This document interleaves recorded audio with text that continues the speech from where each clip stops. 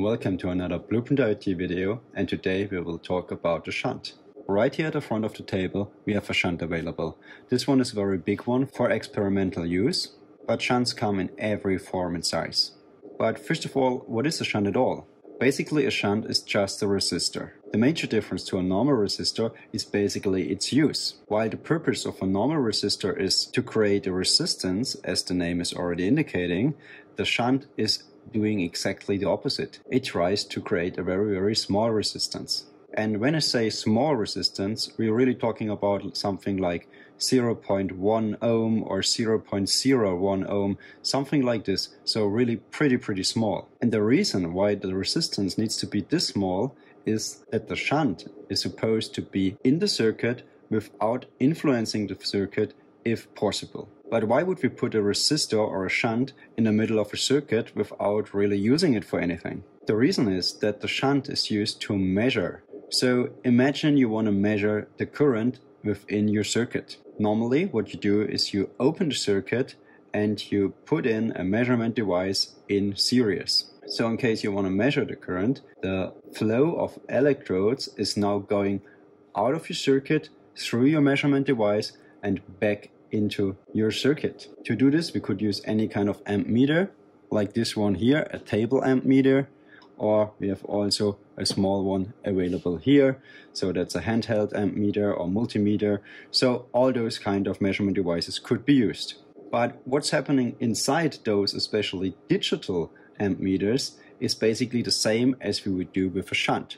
Since it's very difficult to measure current digitally, we normally just measure a voltage. And that's where the shunt comes in with his possibilities. By integrating an ammeter or a shunt into our circuit, we basically don't influence the circuit because the ammeter or the shunt itself has a very very low resistance. So our circuit should basically doesn't notice our shunt at all. But for us the shunt offers the opportunity to measure the voltage drop along its resistance. So as you can see already here, we connected two measurement probes to our shunt, so we can measure quite conveniently everything that's going on at shunt. Since the resistance of the shunt is a known value, we can now calculate the current flowing through the shunt as soon as we measure the voltage drop at the shunt.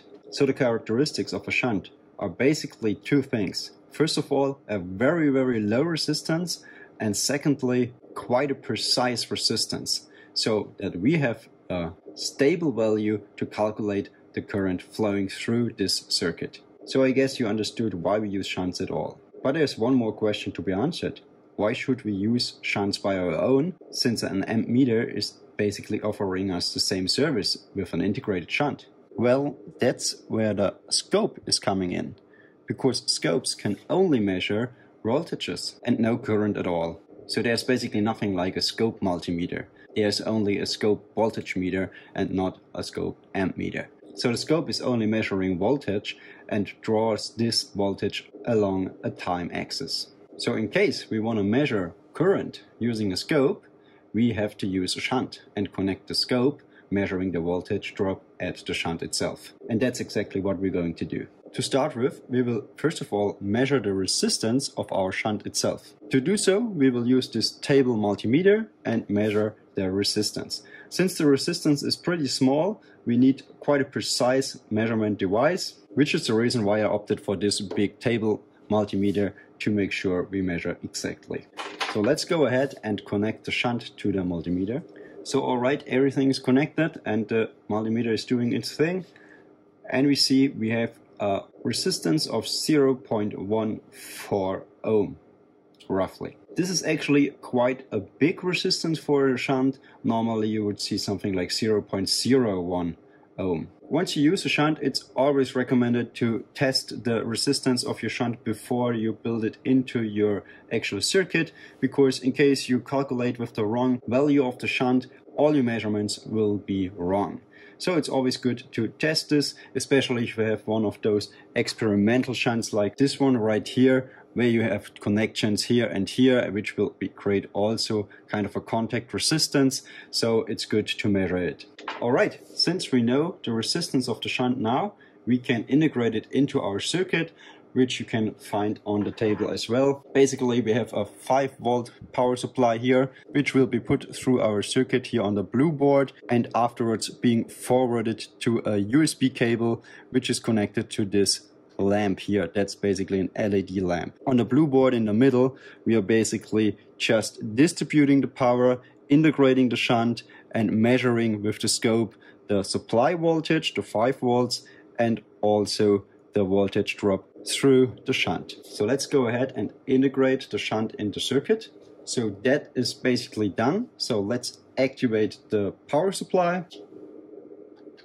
All right, power is on, which we can already see here on channel 2, the green channel, where you can see an increase in voltage, which is basically 5 volts.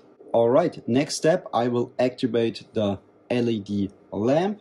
So we should see a change in our yellow line in the scope, which is basically the voltage drop alongside the shunt. So LED light is activated and we can see that the yellow line, the voltage drop through the shunt was increased and is actually now at roughly 30 millivolts.